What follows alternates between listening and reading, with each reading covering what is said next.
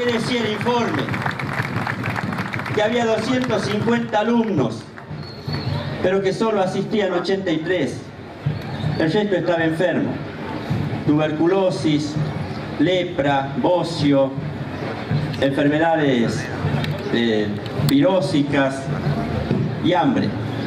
Esa era la realidad de nuestra escuela, que tampoco tenía un edificio escolar.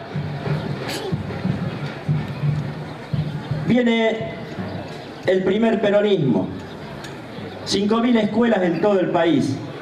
En Catamarca había más de 150 escuelas laines, como esa que ustedes ven ahí. Se les hizo edificio al 80% de las escuelas laines de la provincia de Catamarca. Se hizo el hogar escuela, el hospital de niños. Pero no fue la obra pública. Esto es lo que hay que entender.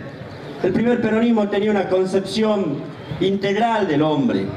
El hombre no es solo educación. El hombre es salud, es alimento, es educación, es vivienda, es trabajo. Y el peronismo es todo eso. Es la solución al conjunto de las necesidades de nuestra gente y de nuestro pueblo. Por eso, por eso, fíjense qué curioso.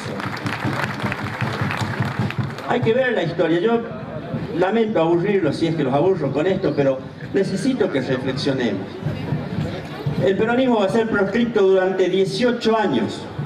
Averigüen cuántas escuelas se crearon en esos 18 años en la Argentina y en Catamarca.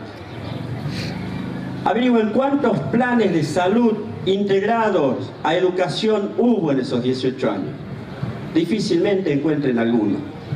Luego vino por tres años nuevamente el peronismo y no tuvo tiempo de desarrollar ese famoso programa político en el pacto social. En Catamarca tenemos muestras y recuerdos de un gran plan de acción vinculado a la salud, a la alimentación y a la educación. Nosotros no venimos a gobernar, como lo dice el autor, esto no son palabras mías, ella no viene a gobernar por los honores, viene a gobernar porque quiere una reparación profunda de la sociedad catamarqueña, reparación que tiene que ver fundamentalmente con la igualdad y con la justicia social.